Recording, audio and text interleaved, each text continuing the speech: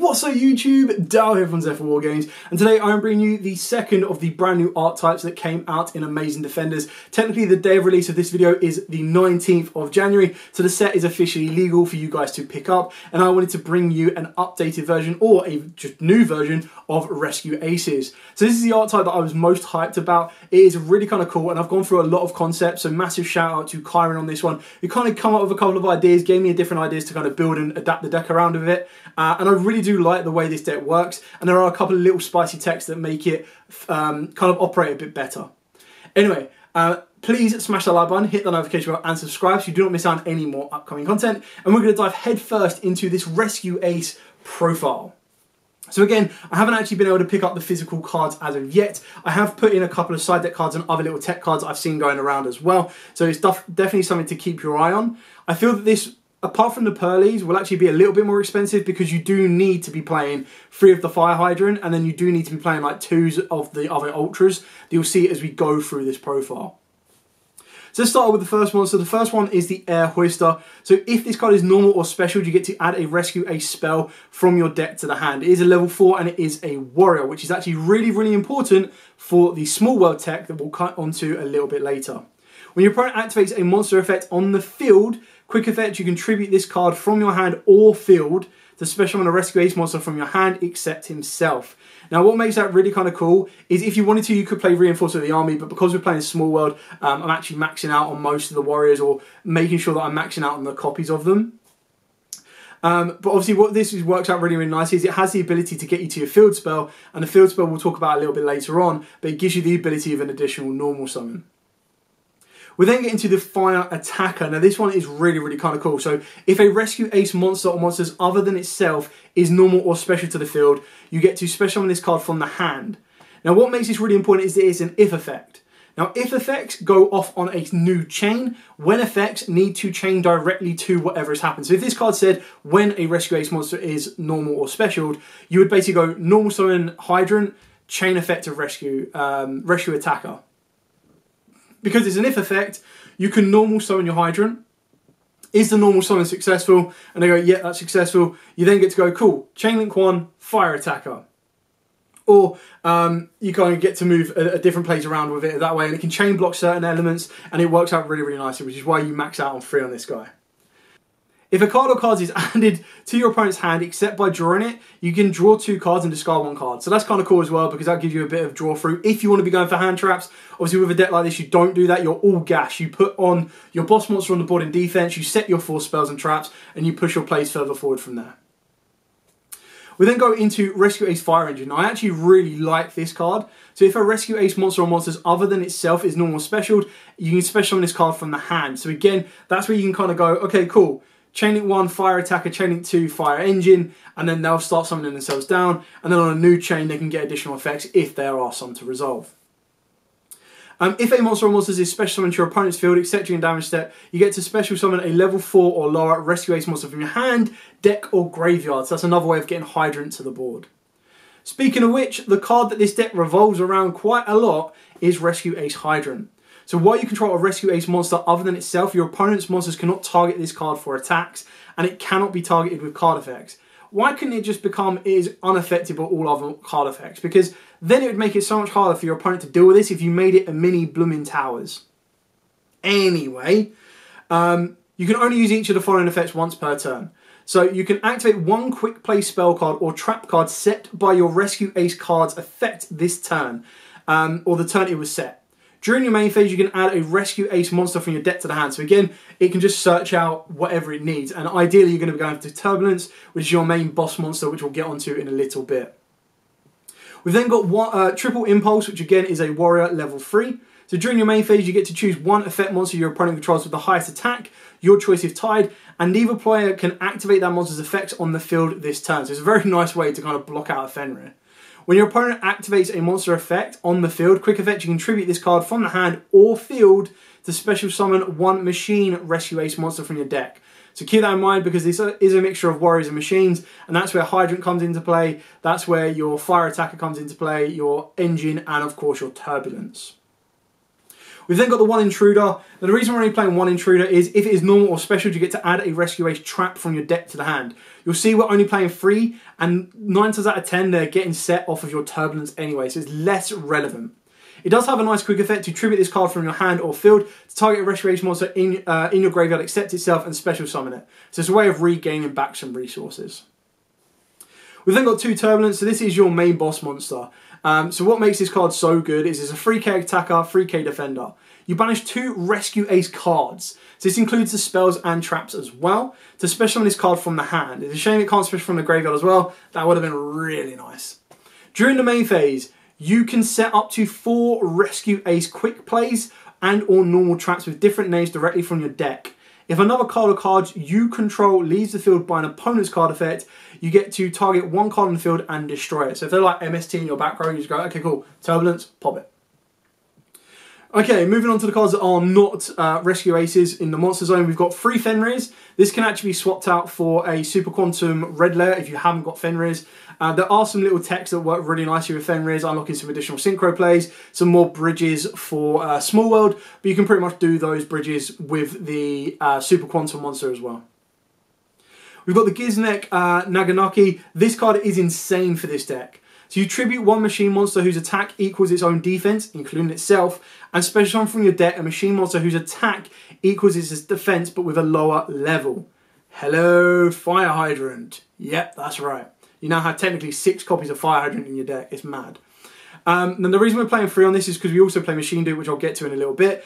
But on top of that as well, if you were to activate Small World as a bridge and you get to this guy, because it is a machine, you can pretty much, your middleman can be. So one of the examples is you reveal Fenrir, Fenrir from the hand, so special summon out Fenrir, search out second copy of itself, reveal that Fenrir in the hand with Small World, reveal the Fire Engine because they're both level 7s, but nothing else matches because it's 24, 24, 25, 25. And then off of the back of the fire engine, you can actually go into your Gizmek because it is a light and the only thing that it shares is the fact it's a machine. Why that is important is because you can then normal summon the Naganaki, use the effect to tag itself out to special summon out the fire hydrant. You can then use um, the Naganaki's effect in the graveyard to target one of your banished face, or well, not target, but you get to add to your hand one of your banished face down machine monsters whose attack equals its own defense.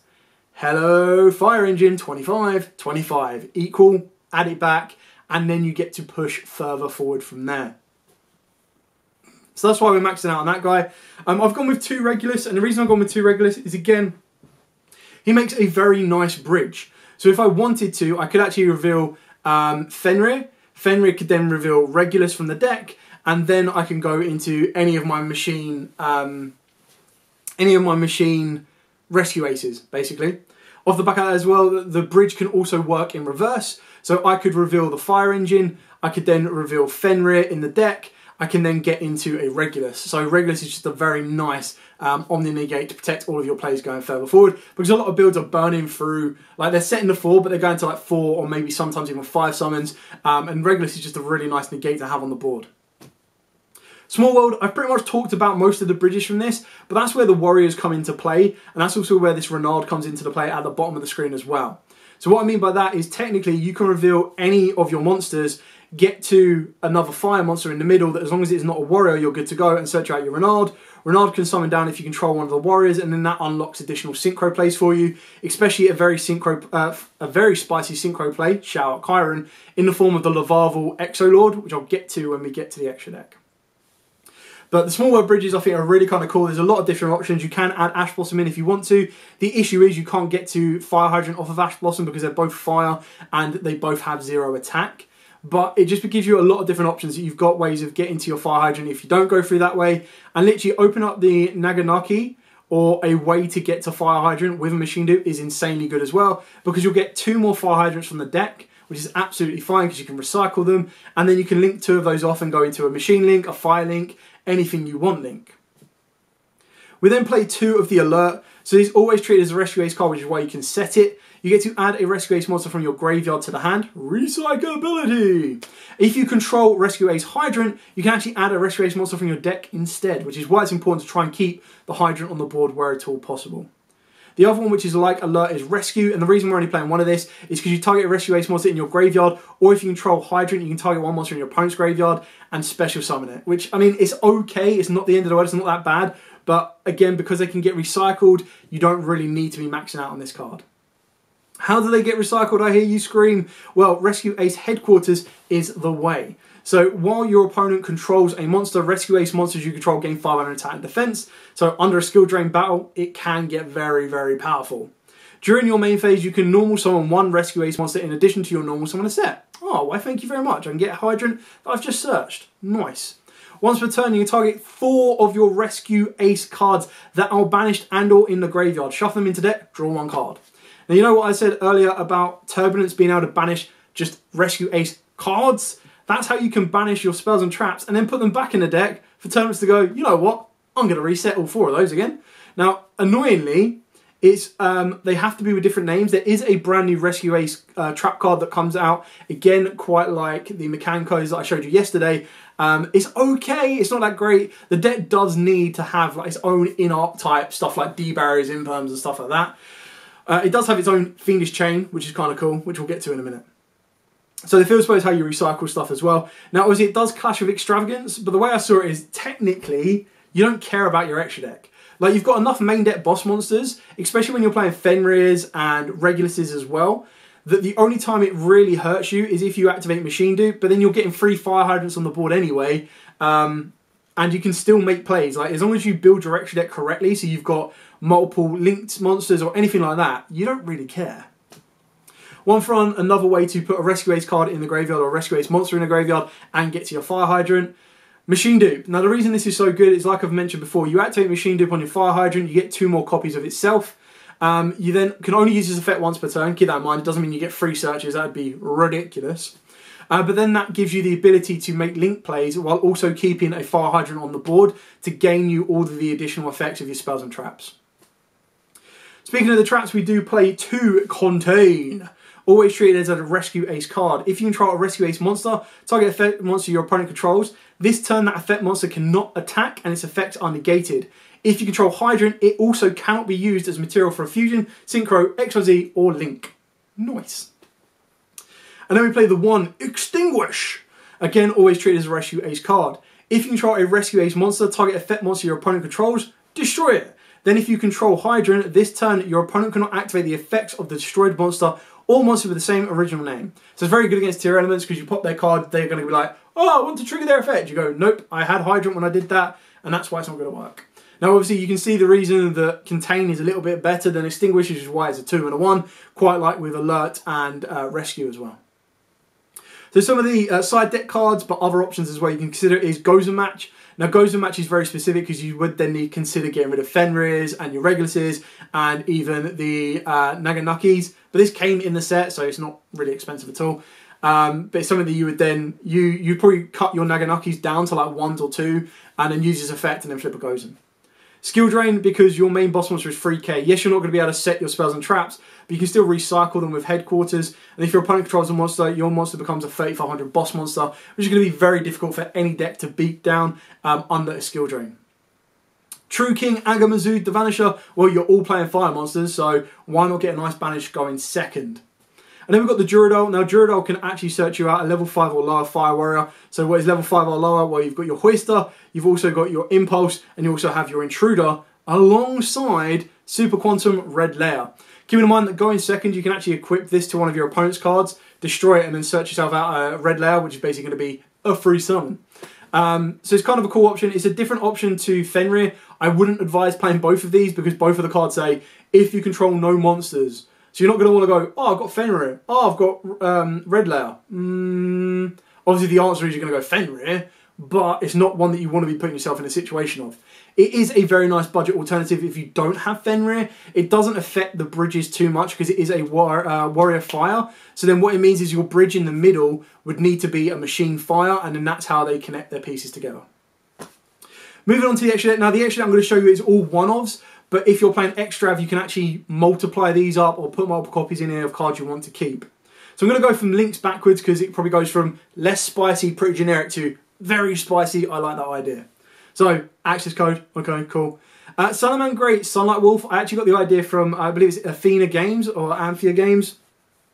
So the reason this is pretty cool is that you do have a card like Alert that lets you, um, sorry, not Alert, where is it? Rescue that lets you special summon one from the graveyard. So it'll allow you to recycle your fires from the graveyard. So it's a cool little tech card. I like the idea of that. Apollousa, uh, Linkuriboh, Relinquish Anima, Unicorn, IP, pretty standard on that. Um, Doolittle Chimera, this is just funny because Doolittle Chimera is basically going to be your field spell for your fires, buff all of their attacks, which is really nice. The idea is that this would then be able to bring back a fire monster. You then add an additional monster to the board, link up, get into access code, access code is cool, one shot, punch, let's go.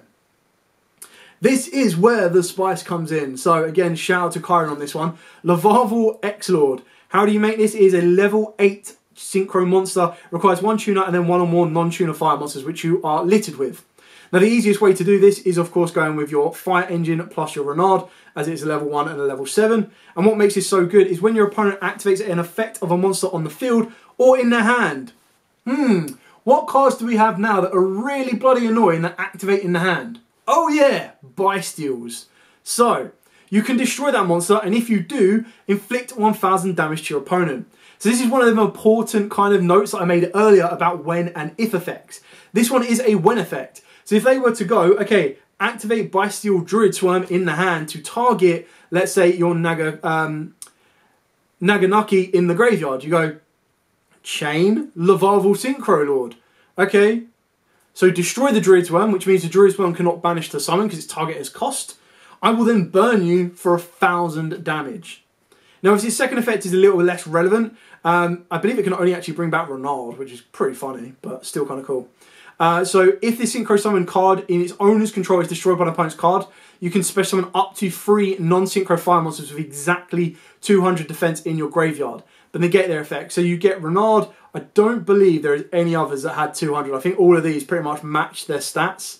Um, I mean, if you get a rubber, you could rub out the 2000 at the start of that one. But but the, the second effect is not important. It's more so just being able to go, cool, stop that Bystial, burn you for a thousand, lol.